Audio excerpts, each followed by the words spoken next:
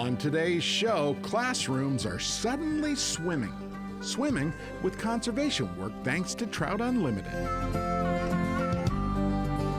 We help you get started keeping bees, Minnesota's big pollinators. And a North Shore fishing trip. Oh, but ladies invited only. Keep it tight, keep it tight. This current really helps you feel bigger.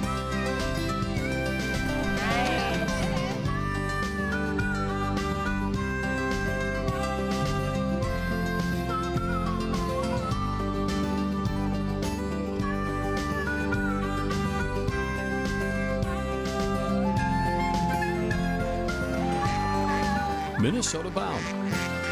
Presented by Kinetico Water Treatment Systems. Hey there, welcome to today's adventure. Something fishy is happening in the classroom these days. Yep, and it's all in the name of freshwater conservation. Something fishy is going on in this classroom. Is any part of the dorsal fin located near the middle of the fish's back? Yeah. So does that have that squared 90 degree angle dorsal fin like we talked about? No. I'm Jim. I'm going to talk to you about fish, which can't be a surprise. We're glad to be with you today. We are the friends that brought you that big tank of small friends that you've got over there. Those 350 little fingerling friends were donated by Trout Unlimited via a state grant. So here we run the Trout in the Classroom program. This is our second year in the program, and what we're doing is we're raising rainbow trout to hopefully release in the spring. Along the way, we learn a little bit about trout habitat. We learn about requirements for sustaining trout populations. We look at water quality, water chemistry. We're testing for high range, pH, and nitrite.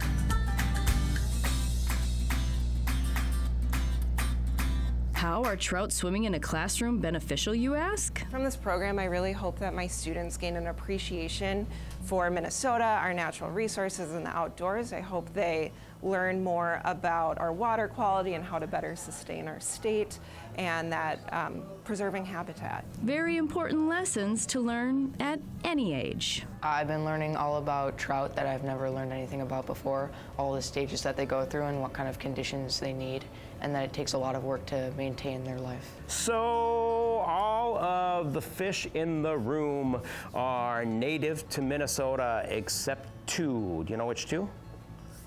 Yeah. Right, yep, and? Brown trout? Yeah, rainbows and browns, we stock. The rivers and the lakes here have to be taken care of in a space where they have to have like cold, clean water, and like you can't like just dump stuff into the lake because that might kill the fish. I just thought they had like the baby stage and then they just grew up and I didn't know they went through so many different cycles and that they could like, you know, they have so many different chances at living and dying.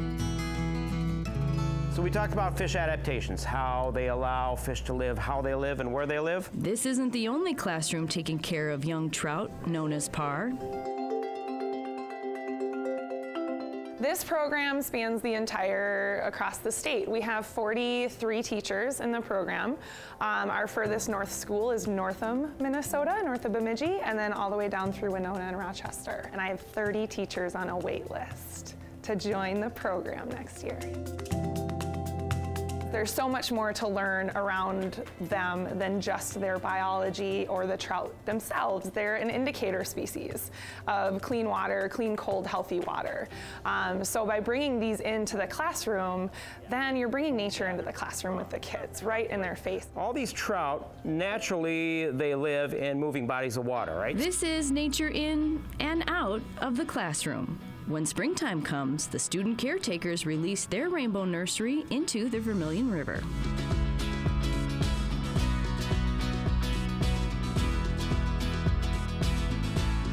We, uh, especially at Trout Unlimited, want kids to be really aware about cold water watersheds and fisheries, things like that. Uh, we do have a good amount of trout streams in our state. Um, not a lot of people know that though, um, and they need a lot of protection to stay clean and cold and healthy fisheries. So uh, we really want to expose those things to the students all over the state. Call it introducing a kid to the great outdoors and the importance of conservation, one classroom at a time. How can we help in our own watersheds and things that we can do. Um, there are little things that kids can do immediately in their homes that they can help with those things and just um, becoming environmental stewards in their adult life. Because these are the kids that are really going to, um, going to do some awesome things in the future when it comes to conservation and our natural resources.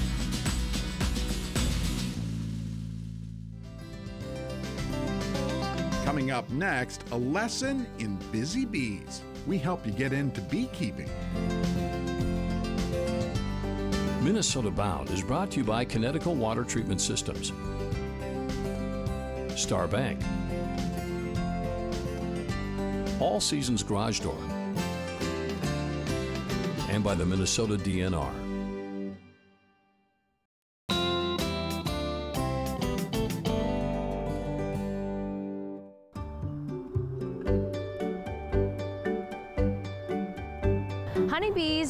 Are these days. Have you ever been curious about getting started beekeeping? Well, I'm here at the Beez Kneez in Minneapolis to show you how to get started.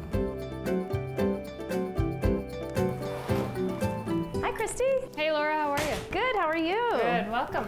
Thanks for having me here today. Yeah. So I am so excited to be in the Beez Kneez because not only do I love to eat honey, but I also understand the growing popularity and curiosity in beekeeping. You know, what is it about beekeeping that interests people? You know, I started this business eight years ago, and back then a lot of it was the bees are in trouble, and people were curious why they, why they were in trouble, and also beekeeping started to be more accessible in, in urban areas. And I think the growing movement of having a connection to your food and where it comes from helps with that.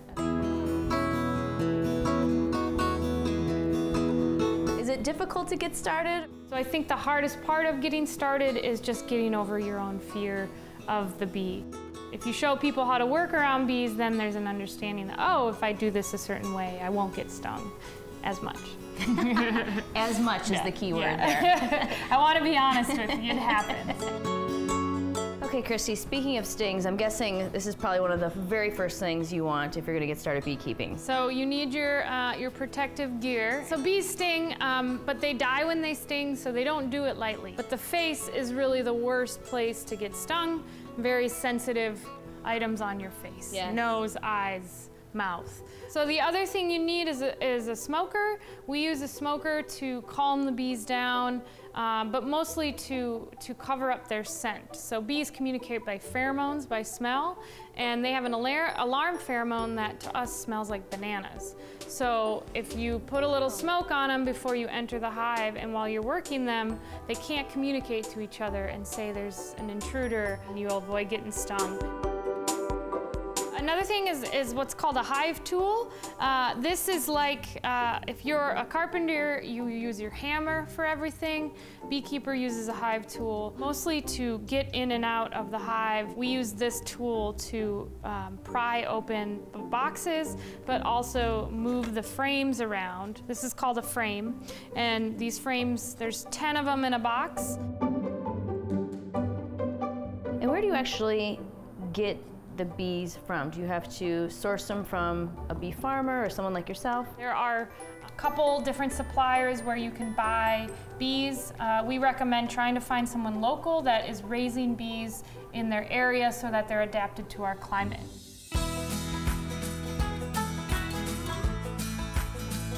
So now we're standing in the nectar patch, which means, are we about to harvest some honey? We are. In order to harvest the honey, there's, there's a couple of ways you can do it. The most common is you take a hot knife or you could take a, a serrated bread knife. You just take this knife and gently go up the comb and opens up the hexagon that is holding Look all the at honey. that. So then we take this frame and we put it in a honey extractor.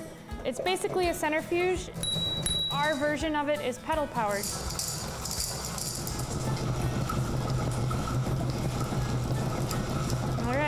You're probably good on that round.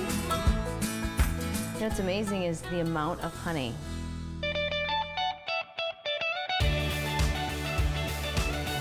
It's a sticky business, but the sweet reward is well worth it. Thanks for showing us how to get started. It was You're fun. welcome. Thanks for coming. If you'd like to check out a few of Laura's other Getting Started segments, head over to the Minnesota Bound YouTube channel. Still ahead, we share the magic of trail cams. But first, a North Shore adventure for silvery fish. This group wants to help you get into steelhead fishing. Closed captioning provided by Treasure Island Resort and Casino.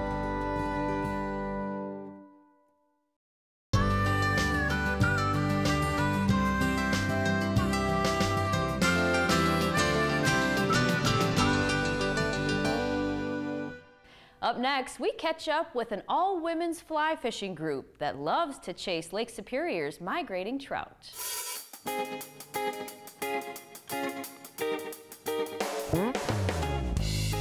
Minnesotans making a difference. Presented by the Minnesota Lottery. I'm in.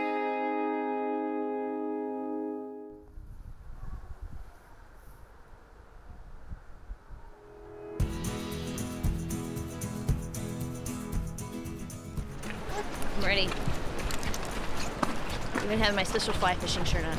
You want to dress the part to witness the epic life cycle of steelhead trout. For decades, the spawning migration of steelhead on Minnesota's North Shore has lured many fishermen to spend long hours wading and casting the rushing waters of the Baptism River. But on this day, the scenery is changing. Today, women anglers are discovering the excitement and challenge of catching steelhead trout.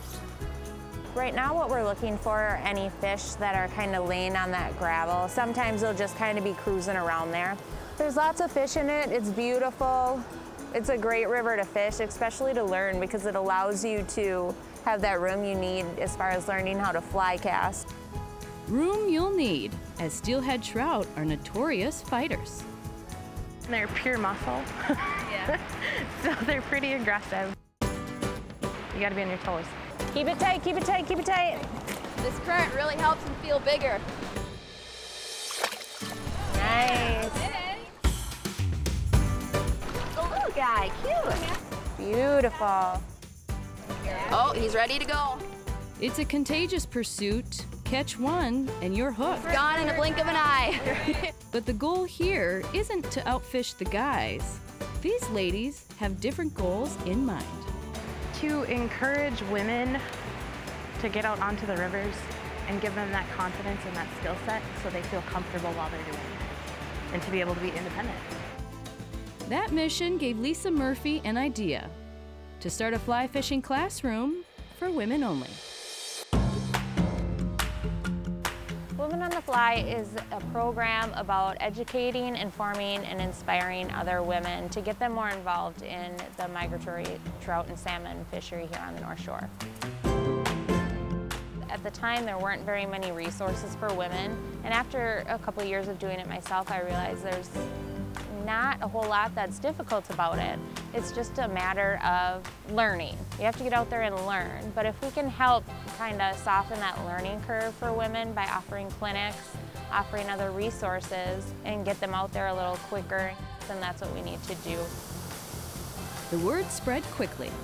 I actually haven't really known a lot of people when I first wanted to learn how to fly fish. And then all of a sudden I heard of Women on the Fly. And first time I hooked up to a steelhead, that did it. I was hooked.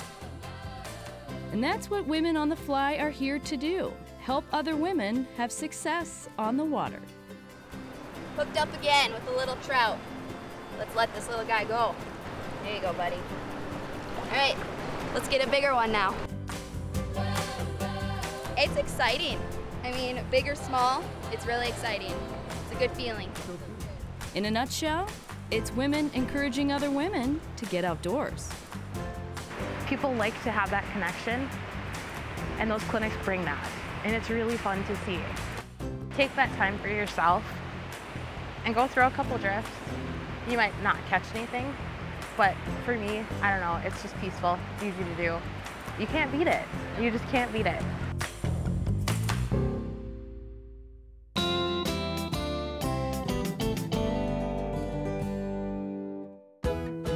Day. It is my favorite day of the year. Each spring when I load all my stuff into the boat, I am the poster child for having too much stuff in the boat.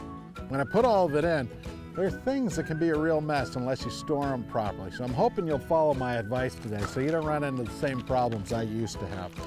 First off, I get these giant plastic bags.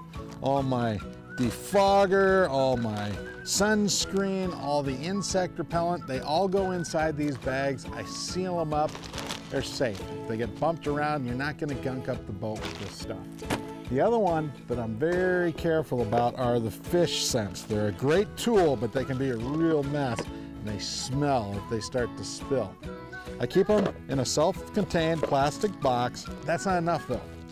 Things like the chapstick applicators, you can't leave them in the boat. When it gets really hot, these things will melt and make a giant mess. So you have to always pay attention to them. Same story, people say, all right, I'll take them out of the boat, but then they put them in a hot car, hot truck, same result. These things can really make a mess. So keep them cool, keep them in the shade, and keep them locked in a box. Take the time to store this stuff properly it actually helps keep your boat pretty clean.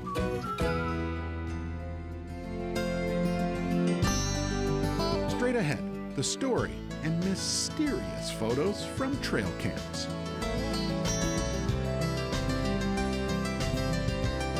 Minnesota Bound is brought to you by Oreo cookies and Ritz snacks, Hewitt docks, lifts, and pontoon lakes, Coors Light, and by Totem Resorts, the premier destination for world-class fishing. Trail cameras seem to be a staple in the woods these days. Yeah, these little cameras capture wildlife when nobody is watching. Ron Schara has more on what these gadgets capture.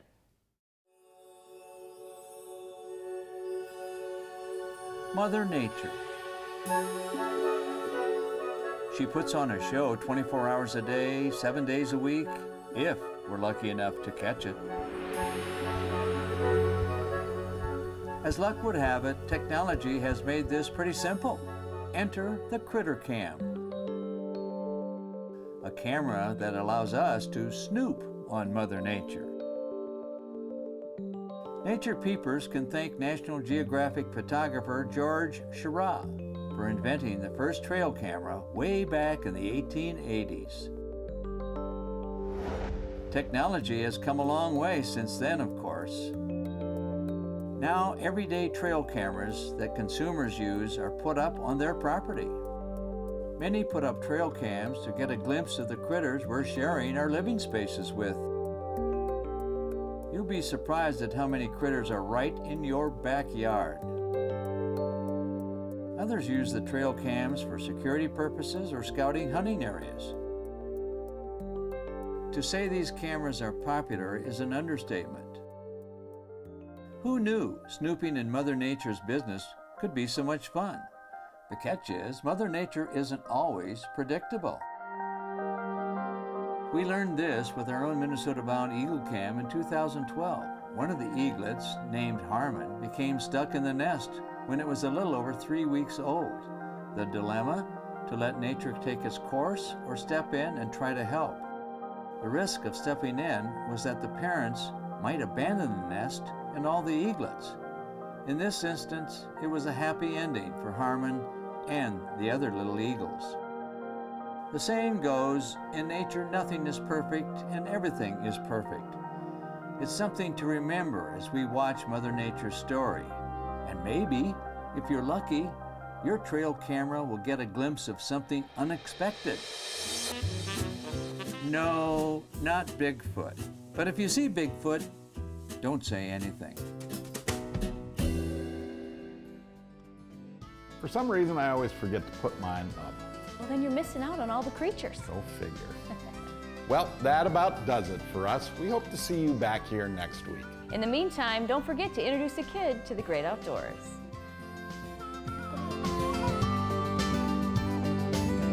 Transportation provided by Premier Transportation. Call 1 800 899 7433.